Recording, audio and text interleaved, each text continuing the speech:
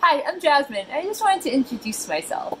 I am a lighting artist on feature animated films by day, and then by night, I'm an entrepreneur trying to, I shouldn't say trying, creating my own business.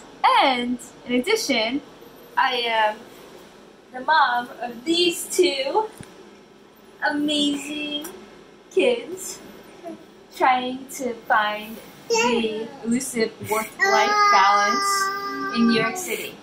So follow me as we go on this journey together where I start my own business and work at my full-time job and be the parents of these ah. amazing kids, right?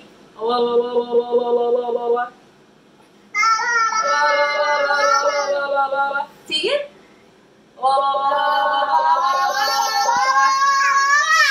Let's do it! Can you say that?